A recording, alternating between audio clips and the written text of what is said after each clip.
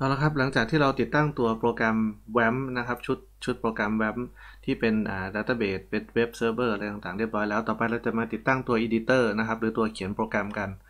อาจารย์ใช้ตัวที่ชื่อว่า Microsoft Visual Studio Code นะครับสามารถ search ได้จากอินเทอร์เน็ตนะครับ Visual Studio Code นะครับ ต้องมีคำว่าโค้ดด้วยนะ เสร็จแล้วก็ เนี่ยมันจะมีลิงก์แรกเลยนะครับ เราเข้าไปที่ลิงก์แรกปุ๊บแล้วก็กดดาวน์โหลดนะครับ ถ้าเป็นของ Windows ก็เป็นดาวน์โหลด Windows นะครับกดดาวน์โหลดลงมา ตัวนี้จะเป็นโปรแกรมฟรีนะครับของ Microsoft ซึ่งนานๆ Microsoft จะปล่อยของฟรีมาสักทีหนึ่งนะครับ ขนาดไฟล์แค่ 53 เมกนะครับโหลดแป๊บเดียวก็เสร็จละนะครับ ทีนี้ก็ไม่ได้ยากนะครับ เราติดตั้งโปรแกรมแล้วก็เปิดโปรแกรมขึ้นมา แล้วก็ accept กด next next ไปเรื่อยๆนะครับ ก็ไม่มีอะไรครับแค่นี้เอง นี่คือติดตั้งตัว editor นะครับ ตัว editor ก็คือตัวที่เอาไว้ใช้ในการเขียนหน้าเว็บของเรานั่นเองนะครับ ในการเขียนหน้าเว็บของเรา ตัว Visual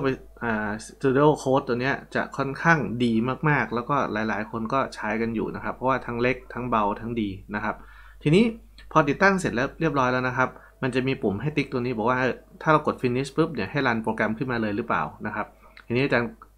ติ๊กไว้นะครับ แล้วก็กด finish นะครับ ตัวโปรแกรม Visual Studio Code ก็จะรันขึ้นมานะครับ ทีนี้แล้วแต่บางคนเนาะบางคนก็ขึ้นมาเป็นสีดำๆเป็นแบบนี้เป็นเป็นเขาเรียกว่า dark theme นะครับหรือว่าจะเป็นแบบสีขาวก็ได้นะครับ แล้วแต่ทีนี้ตัว Visual Studio Code เนี่ย จริง ๆ แล้วตัวมันเองก็เป็น Text Editor ธรรมดานะครับ แต่ว่ามันมีความสามารถคือมันสามารถที่จะใส่ปลั๊กอินเข้ามาเพิ่มได้ ฉะนั้นถ้าเราจะเอามาเขียนเว็บนะครับ อาจารย์แนะนำปลั๊กอินตัวหนึ่งที่ต้องเสริมเข้ามาในตัว Editor ตัวนี้นะครับ เรากดการกระบาดปิดตรงตัวเดี๋ยวนะติ๊กข้างล่างก่อน ติ๊กตรงโชว์ อ่า welcome page ตัวนี้นะครับ ติ๊กออกก่อนแล้วก็กดกากระบาดปิดนี่ไปปุ๊บจากนั้นนะครับเรามาที่ตรงนี้นะครับเขาเรียกว่า extension หรือว่า plugin นั่นแหละครับ ก็คือ extension คือส่วนเสริมของโปรแกรมนะครับ เราจะเขียนเว็บนะครับ ตัวแรกสุดที่เราจะต้องใช้เลยก็คือตัวที่เรียกว่า html snippet นะครับอ่าสะกด html นะครับ แล้วก็ตัวแรกที่โผล่ขึ้นมาเลยครับ html snippet ตัวนี้ครับ แล้วพอเราคลิกปุ๊บนะครับ เรากดที่ install มันจะทำการติดตั้ง extension ตัวนี้เข้ามาในตัว Visual Studio Code เสร็จเรียบร้อยแล้วครับ เร็วมากเรียบร้อยนะครับ มันขึ้นเป็นคำว่า uninstall แล้วแสดงว่าตอนนี้ใช้งานได้ละนะครับ ทีนี้เราก็ปิดนะครับ ปิดไปปุ๊บนะมันใช้งานได้เรียบร้อยแต่ว่าเพื่อความชัวร์ครับ เราปิดโปรแกรม 1 ครั้ง แล้วเปิดโปรแกรมขึ้นมาใหม่ครับ พิมพ์คำว่า Visual Studio Code นะครับ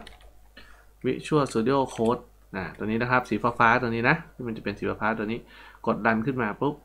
ถ้าหน้าจอขึ้นมาตามปกติก็จะถือว่าเสร็จเรียบร้อยแล้วนะครับ อันนี้คือตัว editor ตัว editor ที่เราจะใช้ในการเขียนโปรแกรมหรือเขียนเว็บของเราในในวิชานี้นะครับ